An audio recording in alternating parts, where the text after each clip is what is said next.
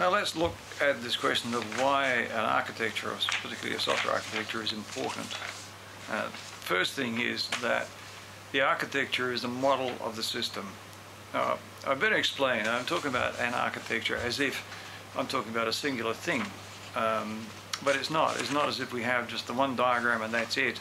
We have a collection of diagrams and the architecture can include the initial modeling of the problem uh, through to modeling of the, the eventual solution. And, and gradually as we go through the subject, this is what we'll explore. Now, um, any and all of those are models of the system, models of the problem particularly, uh, allow us to explore the problem. Now this, this I think is extremely important because too frequently um, the problem itself is not, not that well understood and we try to implement a poorly understood problem and the result is a mess. Now this is particularly important with um, uh, more recent systems because uh, more recently the systems that people are trying to implement are not well understood systems. Um, back in the 60s and 70s, the systems that were being implemented were largely already known manual systems and people had a very good understanding of them. But they've all largely been implemented now. We have our ERP systems and our CRM systems and all that sort of stuff. So all the normal things have been done. Now what we're trying to do is to attack problems where we don't have an existing solution. We don't have an analog of this, this particular solution to the thing, and we're trying to develop it. So we need to explore the problem. We need to be able to understand the problem. And that's where the architecture starts to become important because here we have the means to model the problem. And that's what we must do. Second reason for the importance of the architecture is because it, it uh, permits and encourages and supports communication among the stakeholders.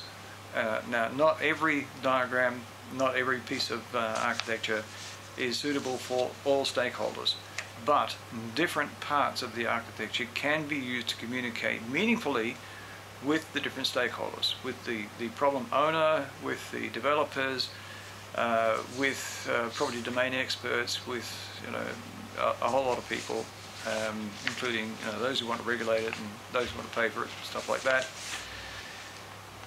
Um, the architecture can be used to, to um, uh, discuss um, and communicate among them. It is a boundary object in that sense, a boundary object being something that can be used for communicating um, between diverse groups. Um, they don't have they don't have to understand all of the object. They simply have to see those things that they're interested in in the object. An architecture is also a transferable abstraction of a system. That is, we can design an architecture for a system now, we can implement that system. We can take that same architecture and go away and implement a second system that will not be exactly the same as the first. It'll be a different implementation. So the architecture becomes an abstraction of a system that we can then go and implement multiple times if we want. Architectures do last a long time. They last a very long time. They outlive the programs that make them up. I mean, you can change programs um, and the programs come and go, uh, but the architecture will just kick on forever. Uh, it's really difficult to change. So it's important to get it right, or as right as you can at the time. But the architecture is limited by the context in which it is developed. And that context does include things like knowledge of the problem, um, our perception of um, different systems have changed over time. I mean, a while ago we, we would implement um, a, uh, an accounting system separate from an HR system, separate from a um, you know, suppliers ordering system, uh, purchasing system, things like that. Now the whole lot's wrapped up in, in uh, enterprise um, ERP, enterprise, enterprise resource package. Yeah, ERP systems anyway. And similarly, um, customer relationship management systems are uh, bigger than merely keeping, keeping tabs on names and addresses. So our understanding has changed, uh, our understanding and perception of some, some domains have changed and consequently the architectures of, of systems have needed to change along with them. However, the other things that uh, do constrain what you're going to do with any architecture at the time are legacy systems and those systems that what you're developing must interface to. It's rare, very rare, you'll get a chance to implement something without considering what else it has to work with. And it will also be constrained by the modeling languages that you're, you have available for your use. Although I must admit, um,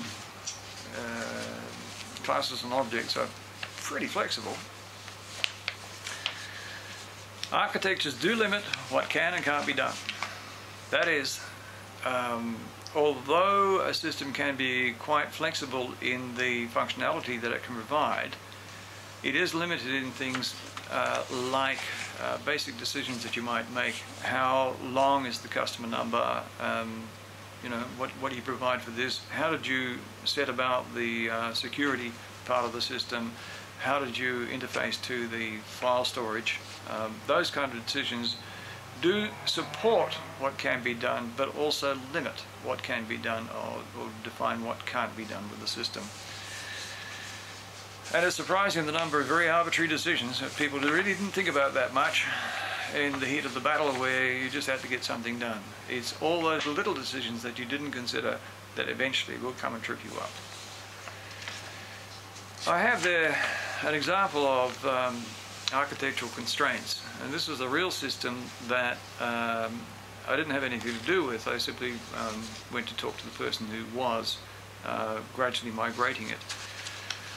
The, the system is, is wrong to call it a system. It was a collection of uh, programs, uh, small systems that uh, collectively controlled some steelmaking in uh, a fairly local steelmaker. Now these things had all been implemented as small systems, um, spot solutions to specific um, things that wanted to be done um, at the time. They'd all grown up.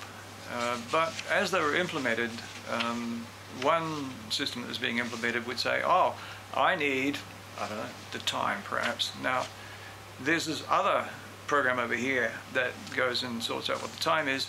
So I will, I will interface to that program and it can tell me what these things do.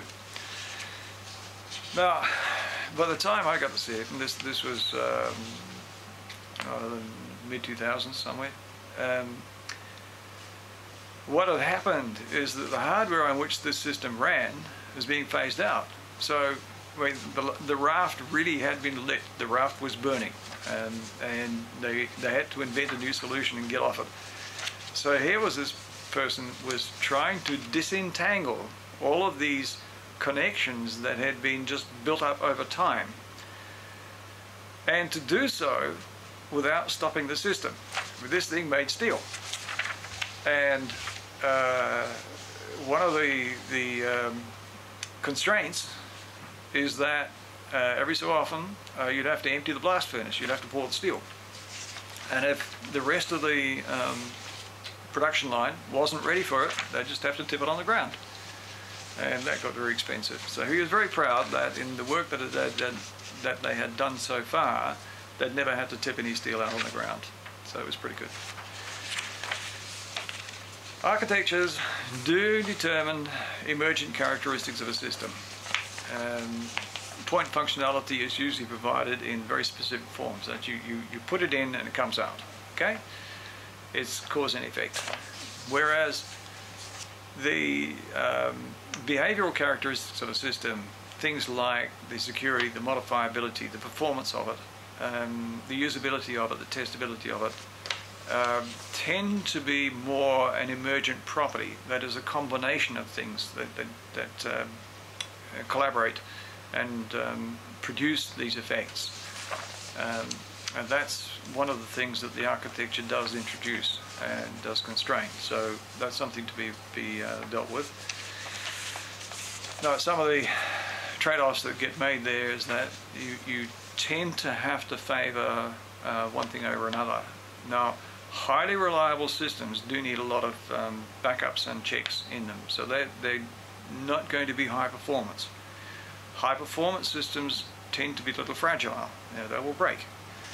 Um, highly usable systems are not fast because they have to keep stopping and checking and, and making sure that everything's right.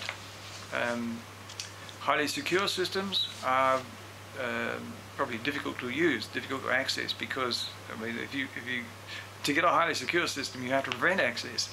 If you want a highly accessible system it's not going to be very secure. So the architecture can determine a great deal of those things. So in summary then, architectures last a long time. They are really good for exploring uh, and understanding the problem. Um, they uh, they uh, can assist and aid communication between all the stakeholders and they do determine to a large extent the behavioral characteristics of the system.